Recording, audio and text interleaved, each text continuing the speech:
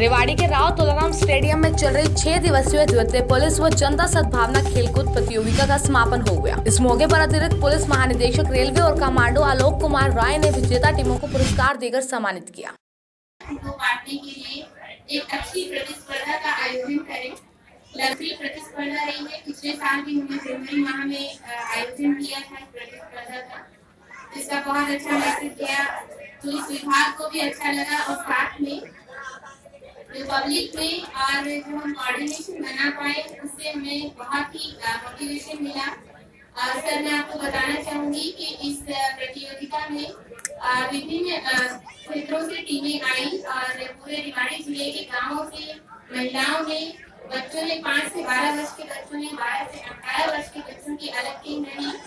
और साथ में जितने भी हमारे डिफरेंट इंस्टीट्यूशंस हैं, चाहे वो कंपनी की टीम रही हो, या डॉक्टर्स की तरफ़ से टीम है वकीलों की तरफ़ से है, पत्रकारों की तरफ़ से है जुडिशरी की तरफ़ से है, और सिविल डिपार्टमेंट से, और साथ में पुलिस विभाग की टीमों ने भी इसमें भाग लिया।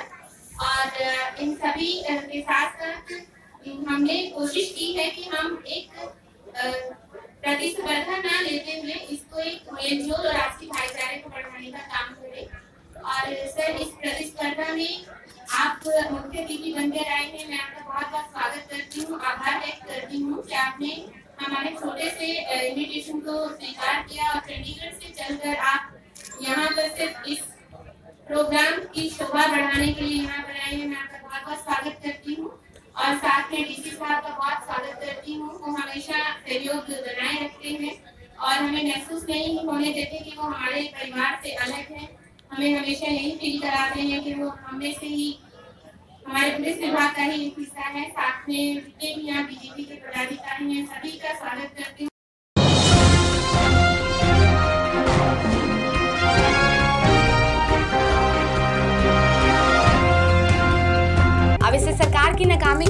फिर अधिकारियों की मिलीभगत औद्योगिक इकाइयों में सरकार का कोई अंकुश नहीं रह गया। इसी के चलते रेवाड़ी ज़िले में औद्योगिक कस्बा बावल और धारूहेड़ा में लगातार श्रमिकों में असंतोष के मामले सामने आ रहे हैं। लेकिन श्रम विभाग है कि मटरगस्ती तक सीमित नज़र आ रहा है। इस कंपनी में बता रहे स्ट्राइक हो रही है दो दिनों से क्या कहेंगे?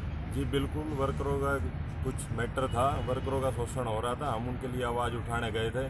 डेढ़ साल पुराना मामला है। उसमें झूठी चार्जशीट गई दी गई थी और अब डिसीज़न आया है कि भाई तीन साल का तो मेरा एग्रीमेंट रोक दिया जाए एक एक साल का तीन और यूनियन मेंबर का।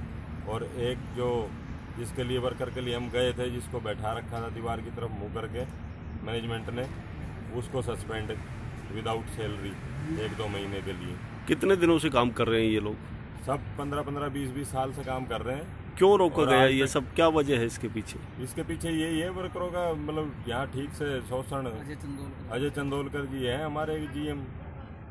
तो वो बस अपने कोई सर्वे सर्वा समझते हैं। कुल मिला के मनमानी की जा रही है कंपनी प्रबंधन जा की तरफ़ से। अपना वो एमपी साइड के हैं वहीं से बंदे ला के भर्ती कर रहे हैं। यहाँ जो बंदे हैं लोकल उनको कोई रोज़गार नहीं दिया जा रहा। वहाँ से कम से कम डेढ़ सौ दो सौ बंदे वो ला चुके हैं। अभी कितने कितने ऐसे लोग हैं जिनके साथ जाति की बात आप कर रहे हैं? बिजली पानी यहाँ की सात सात आठ आठ साल के यहाँ पुराने कैजुअल कर्मचारी है। उनको ड्रेस देने की बजाय परमानेंट करने की बजाय बाहर से डेढ़ डेढ़ सौ किलोमीटर से एमपी से बंदे लाए जा रहे हैं यहाँ पे। यहाँ बिजली पानी सब यहाँ का खराब हो रहा है। आप भी यूनियन के प्रधान है। क्या अधिकारियों से बातचीत हुई इस बारे में? बिल्कुल अधिकारी प्रशासन यहाँ आया हुआ है लेकिन प्रशासन भी कोई ज़्यादा वो नहीं दिखा रहा है दिलचस्पी। कौन अधिकारी आए हैं अभी यहाँ? पे डिप्टी लेबर कमिश्नर आर के सैनी जी आए हुए हैं और यहाँ पे असिस्टेंट लेबर कमिश्नर रिवाड़ी से हवा सिंह जी आए हुए हैं। एसडीएम भी आए थे। इंस्पेक्टर एसडीएम भी आए थे कल। कल भी कोई नतीजा नहीं निकला अब भी कोई नतीजा नहीं निकला। क्या कह रहा है कंपनी प्रबंधन? कंपनी प्रबंधन तो अपने अडियल रवैये पे ही अड़ी हुई है। जिस तरीके से हम तो यहीं बैठे हैं भूखे प्यासे इन्होंने कैंटीन की फैसिलिटी बंद कर दी क्रैच की लड़कियाँ हमारे साथ यहाँ पिछले कल कल से तीन बजे से बैठी हुई है पूरी रात भूखी प्यासी यहाँ बैठी अभी कितने वर्कर स्ट्राइक पर हैं आपके साथ? कोई ध्यान नहीं दे रहा लड़कियों की चार सौ पचपन परमानेंट वर्कर है और कैजुअल भी है दो सौ तीन सौ वर्कर सभी स्ट्राइक पर स्ट्राइक पर बैठे हुए।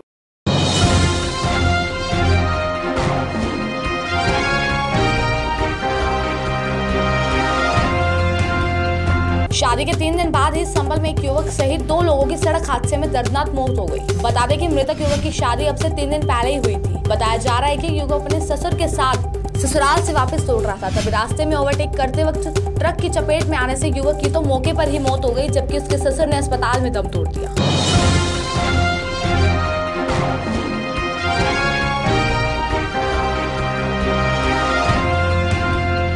यूपी में महिलाओं पर बढ़ते अपराध रुकने का नाम ही नहीं ले रहा। ताज़ा मामला यूपी के संबल से सामने आया है, जहाँ शोच के लिए गई नाबालिग किशोरी को उसी के गाँव से दो युवक ने अगवा कर लिया और सुनसान जगह पर ले जाकर उसके साथ दुष्कर्म किया, जिसके बाद पीड़ित आरोपियों के चंगल से छुटकर वह अपने घर पहुँची और मुख्य आरोपी की पहचान कर परिजनों को आप बीती बताई, जिसके बाद परिजनों ने आरोपी को पकड़ लिया और उसकी जमकर धुनाई की। आरोपी को पुलिस को सौंप दिया गया।